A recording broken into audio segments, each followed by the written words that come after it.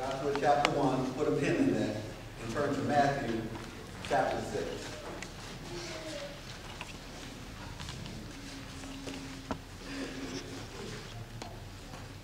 Everybody in Joshua chapter 1? Yes, amen. If you're in Joshua chapter 1, raise your hand.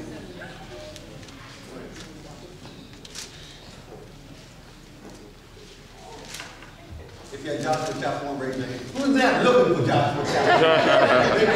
if you're not looking for raise your hand. Maybe I should say it like that. And look, I learned a long time ago, just because the preacher saying he reading from the word, don't take it for granted that he reading it right.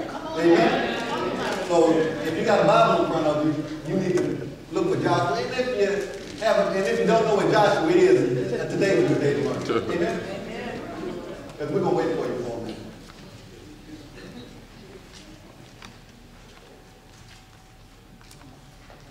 Okay, Joshua chapter 1. Show of hands. Okay, that, that's better. okay, and Matthew 6.33. So put a pin in 6.33 right now. We're going to read Joshua chapter 1. I'm going to read 1 through 3. Then I'm going to read verses 7 and 8. Joshua chapter 1, verses 1, 2, and 3. Then I will read verses 7 and 8. Now after the death of Moses, the servant of the Lord, it came to pass that the Lord spake unto Joshua, the son of Nun, Moses' minister, saying, Moses, my servant, is dead. Now therefore arise and go over this Jordan, thou and all this people, unto a land which I do give to them, even to the children of Israel. Every place that the sole of your foot shall tread upon, that have I given unto you, as I had said unto Moses. Starting at verse 7. Only be thou strong and very courageous, that thou mayest observe to do according to all the law which Moses my servant commanded thee. Turn not from it to the right hand or to the left, that thou mayest prosper whithersoever thou goest.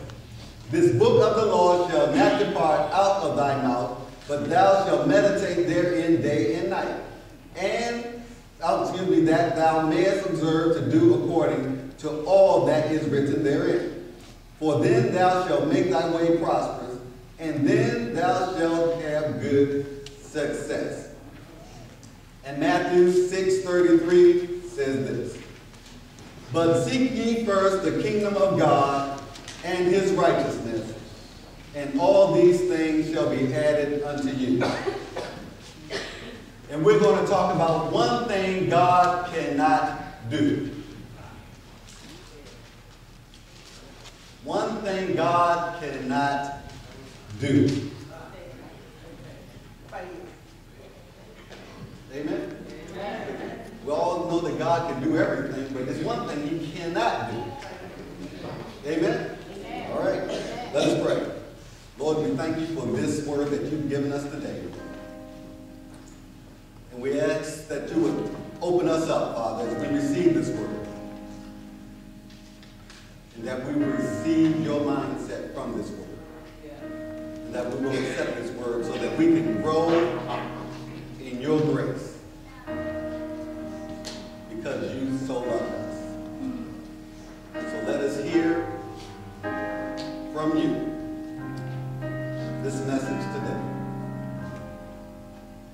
Move us out of the way. You just come through with the Holy Spirit and just shine in our hearts and in our minds that we will receive, thus saith the Lord. In the name of our Lord and Savior Jesus Christ. Amen. The one thing God cannot do. Now, in the Word of God, we watch, read, and believe time and time again that God can do anything. And we know and believe that God can do everything. So I guess somebody may be wondering, what is this man talking about? If God can do everything, what can he do? What can God do? Now let's look at some of the stuff we've seen of God. We've seen God produce miracle after miracle. We have seen God change the course of nature. We have seen God do the impossible. We have seen God make a way out of nowhere. We know for a fact that if it had not been for the Lord on our side, we don't know where we would be. So what is it that God cannot do? What is it that God can't do? Didn't God create this world out of nothing? Genesis this earth was formed and void and faceless and nothing was going on, and God just formed this world out of nothing. So if God formed this world out of nothing, what can God not do? Didn't God's people get stuck at the tip of the Red Sea? Had no way out. And God opened up the Red Sea so Moses and his people could go through the Red Sea. Didn't God? So what can God not do?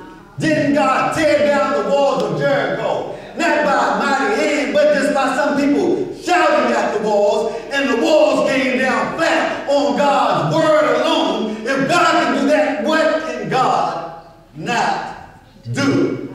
Didn't God help a little shepherd boy named David beat up a massive giant named Goliath? The odds were all against him, but David hit him with one rock, and the giant fell down dead, flat. Didn't God help him do that? If God can do that, what can God not do? What can he not do? Didn't we see three Hebrew boys go into this fiery furnace? Shadrach, Meshach, and Abednego. People burning up around them. But Nebuchadnezzar, Nebuchadnezzar determined to send them in, say, throw them in. And he threw them in the fiery furnace. And then those same three boys come out without a sin on them. If God can do that, what is this preacher talking about that God can't do something? Daniel in the lion's den. Lions hungry and all out of door. They would have ate a bag of potato chips and you. They did not But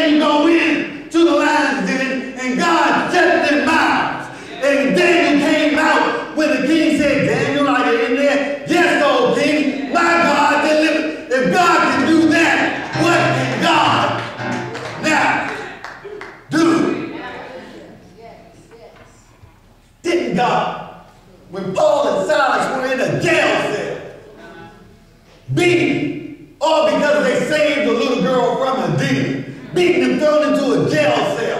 And it said that midnight Paul and Silas just got together a hymn and started singing. Shake, shake, shake, shake everything off. And the chains stopped falling, the jail started shaking and rocking, and oh my God, and they released him. And Paul stayed to proclaim the word of the Lord because they were put in wrong. And God had made a way so they can get out. So if God had did that for Paul and Silas and got them out of that jail situation, what can God not do? Did God send his son who healed the blind, who healed the lame, who healed the deaf, who even raised the dead? through sent his son through an immaculate conception, through a virgin. Um, yeah. If God can do that, what can he not do? If God can have his only begotten son die on a cross, and three days later raise him up from the dead for our benefit, what can God not do? Now I'm saying all this because it is something that God cannot do.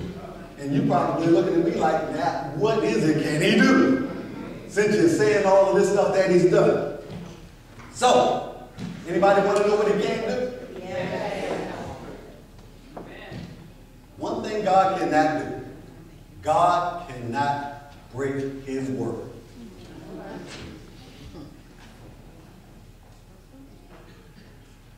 I need to say it again. I'm going to say it again. Because I think somebody didn't hear it. God cannot break his word.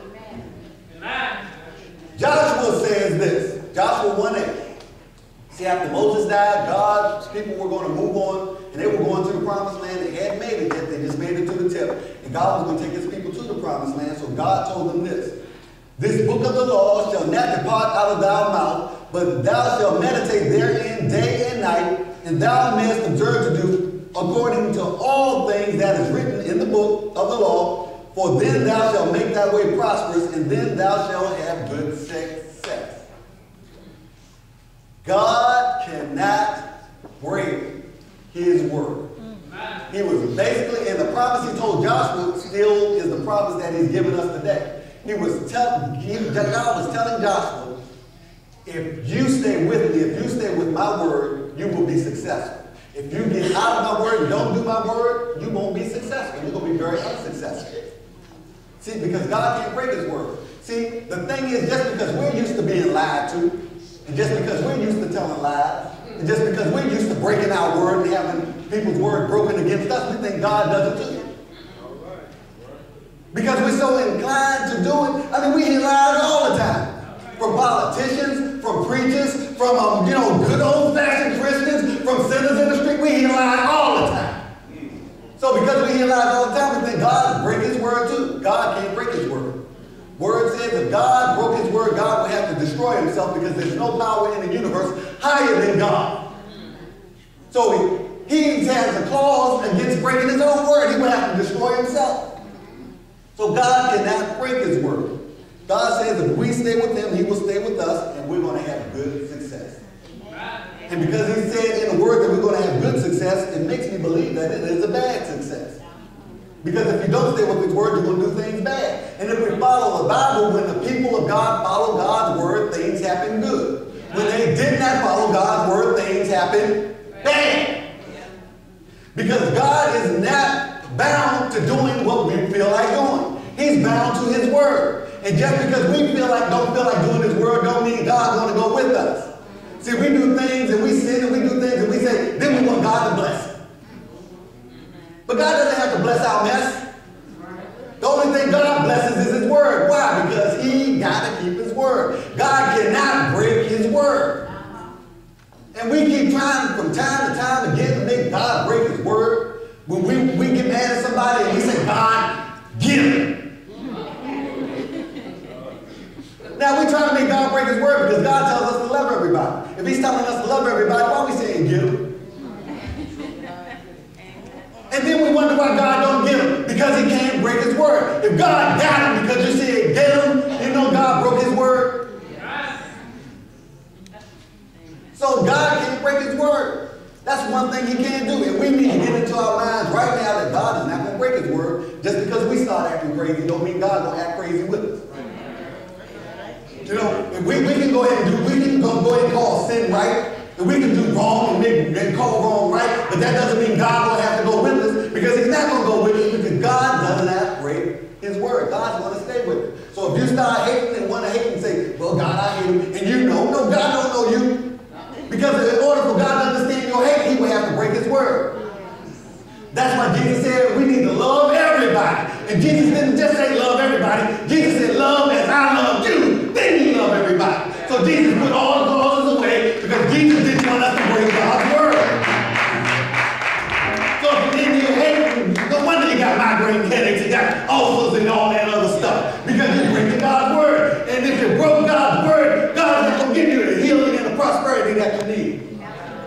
Told the people of Israel, if you stay by my law, if you stay from according to my word, my will, and my way, I will make your way prosperous and you will have good success. Isn't good health prosperity? Because sometimes we get so much junk in us, the junk makes us sick. And then we wonder why we sick. Man, you need to let off some of that stuff. All those people that you can't forgive, you just need to stop forgiving them. I guarantee you get better. All those headaches that you get, and just about everybody, not everybody I know, but a whole, a big percentage of people always get headaches on Friday when they go to work. because after dealing with those fools all week long, now you got a headache. Because you're going in now, your head split. Forget about them. Put it on the Lord. Give it to the Lord. God will heal you, and Friday will be a joy and not a headache. And I ain't telling you, I ain't I didn't get that from the Bible. I got that from when I was working here.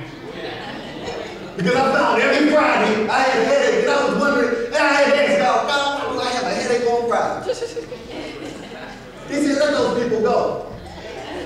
No, they didn't do what you want. No, they didn't come in. No, they called out. Yeah, they came back late for lunch. Let them go. And when I let them go, guess what? I went in on Friday and Saturday when I had to work without a headache. Amen.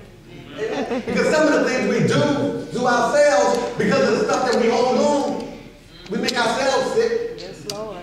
Because that's not prosperity. And what we're trying to do is get God to go against His word, and God's not obligated to go against His word because whenever He goes against His word, we start getting confused.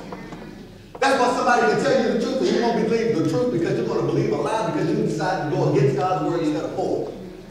That's why people will run to a good piece of juicy gossip instead of the truth. They, they do it all the time. You know, people be going out the office. Oh, I gotta get my stories. Man, they be running out the office, running home. you tell me you got a church service going on. I, they ain't running no church. They're not running to get the truth, but they're running to get their gossip from a TV set.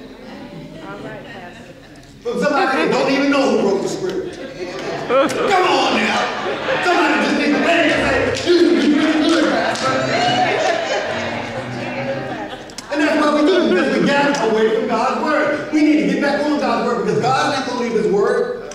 Because that's the one thing he can do. All these good things he can do is one thing he can't do, and he can't break his word. He's not going to leave his word to make us feel good. You know, if you want it, you better come get it. Washington Post got an ad, if you don't get you don't get it.